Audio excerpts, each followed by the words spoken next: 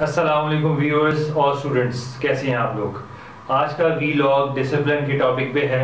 आप लोगों ने रिक्वेस्ट किया था कमेंट्स बॉक्स में तो मैंने उसके ऊपर वी लॉग किया और आज हम उसको कर रहे हैं। टॉपिक की तरफ़ आते हैं। मैंने यहाँ पर कुछ मेरे पास पॉइंट्स हैं, जो कि मैं आपसे शेयर करूँगा इस आज के टॉपिक के हवाले से। देखिए डिसिप्लिन का जो कॉन्सेप्ट आपके नज़दीक है, वो मैं आज आपको शेयर करूँगा कि वो क्या है।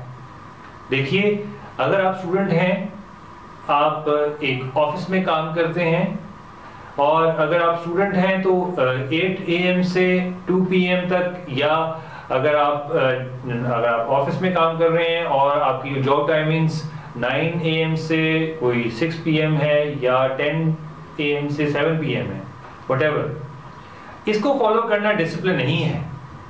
ठीक है?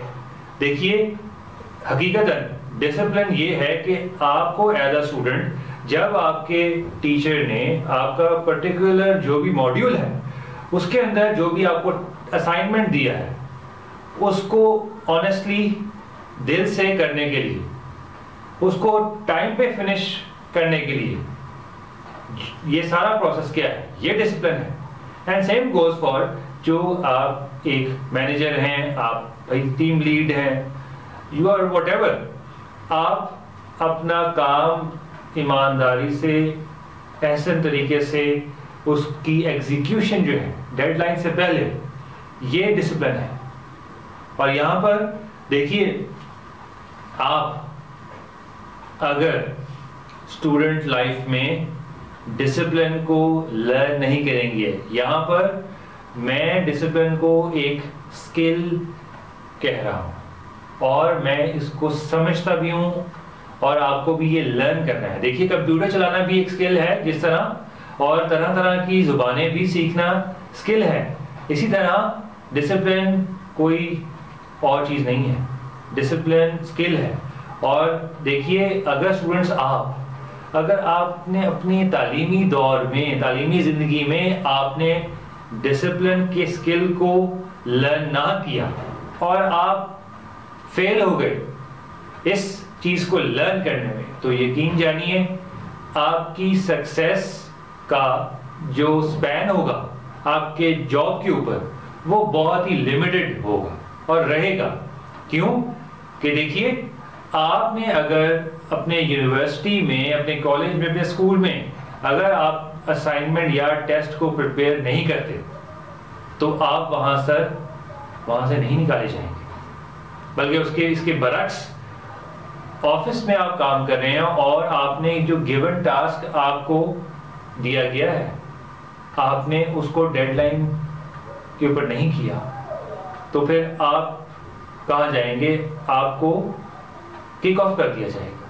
जो एग्जिट होगा दरवाज़ा, उसकी तरफ़ आपको जाने का कहा जाएगा। मैं यहाँ पर पेरेंट्स, खास तौर पे जो मदर्स हैं, मैं उनके लिए एक पैगाम भी लाया हूँ इस डिसिप्लिन के टॉपिक से, और एक रिक्वेस्ट भी है। वो यही है कि बचपन से अपने बच्चों और स्पेशली जो आपके बेटे हैं, उनको आप ये चीज़ सिखाइए कि डिसिप्लिन क्या है। और डिसिप्लिन देखिए, आप पेरेंट्स हैं, आपको जो बच्चा ऑब्ज़र्व कर रहा है, यही उसका डिसिप्लिन है और यही उसकी लाइफ का पार्ट बन जाएगा। और देखिए, अपने बेटों को मदर्स प्लीज़ मैं ये बारहा कह रहा हूँ कि आप ये स्पॉइल करना छोड़ दीजिए, ये कहकर कि ब्रेकफास्ट के बर्तन जो हैं, वो बड़ी बहन या छोटी बहन उठाएगी। और फिर धोएगी भी वो छोटी बहन धोएगी या वो बड़ी बहन धोएगी। ये कहीं पे भी नहीं आया, जी। आप, क्योंकि देखिए कि ये आपके लिए एज अ मदर बेनिफिट होगा। आप अगर इन लाइंस के ऊपर उसको तैयार करवाएँगे, देखिए उसको थोड़ा थोड़ा छोटा छोटा काम जो है ना, अपने साथ उसको कहिए कि, चलो बेटा, आप कमरे में जाइए अपने और बेडशीट को दुरुस्त करें। पिलोज जो हैं, वो अपनी जगह पे होने चाहिए और इसके साथ साथ बेडशीट और ऊपर जो चादर लेते हैं सोने के लिए वो भी तय करनी चाहिए।